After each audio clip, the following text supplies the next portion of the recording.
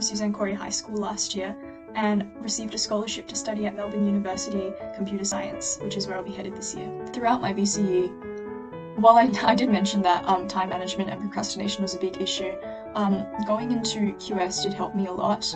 Um, so the tutors uh, at QS were incredibly supportive and nurturing. Not only were they incredibly resourceful,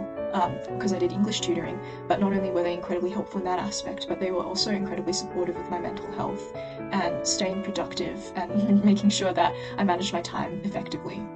Um, so the QS tutors often checked in, um, messaged me after my exam to see how I was at, um, and just having those talks um, where they sort of shared their wisdom and their experience with me. And I suppose that made all the difference to my grades, um, to my exam performance as well, um, and also to my overall well-being and mental health. So um, QS, I would say, was a pretty big um, change, um, good change um, for my academic trajectory, and I think without them, I don't think I would have been able to manage my time and really truly stay on task as much as I did. So I would highly recommend the QS program to anybody who is in VCE or will be going into VCE because not only is it a really good place that goes above and beyond for your grades and academics, but also makes sure um, makes sure that your mental health and well-being is also in the right space as well.